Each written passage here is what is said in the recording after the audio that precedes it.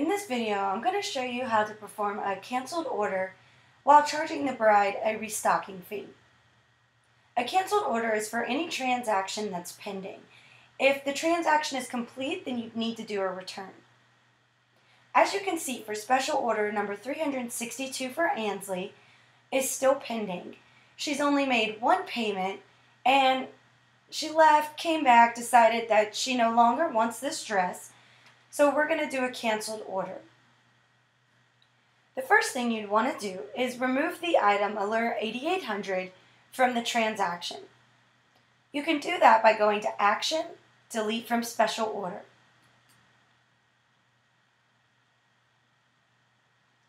So as you'll see, our amount due changed to $500 as that's the amount of the payment the bride has made.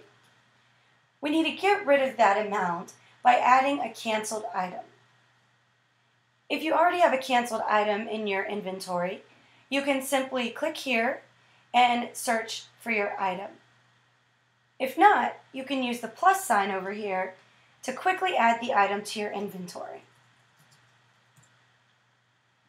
Your department would be under fees and extra charges, and your vendor would be a vendor under your store name. Item type is non-inventory and no tax. The rest of the information on this add item screen can stay the same. Save and add to special order. On the canceled item, we're going to want to change this adjusted price to match exactly what BridalLive is saying is the amount due.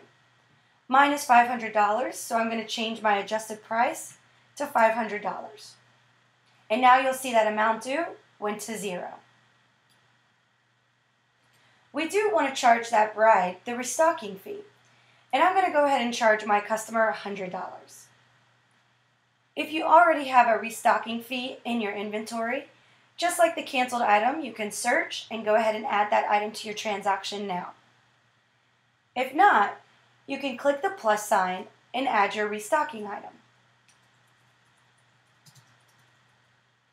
Department would also be under fees and extra charges.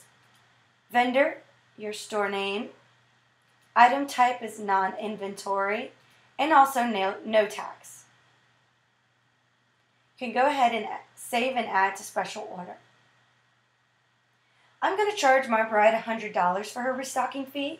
You could charge whatever you want, and I'm just going to change this adjusted price to 100. Perfect. Now you'll see the amount due is $100. To take care of that, you'll take care of it just like any other payment. Come to the payment screen. The amount is pre-populated and you'll select your method. You can go ahead and process credit card and swipe the bride's card. I don't have a terminal set up on my test account, and if you don't process credit cards through BridalLive, then you'll need to just click Add Payment. And as you'll see, this shows the bride made a $500 payment on July 28th, and today she made a $100 restocking fee payment on August 5th. You can go ahead and close that payment screen, and you'll now see our amount due is zero. We charge that bride the restocking fee, so we can add some notes.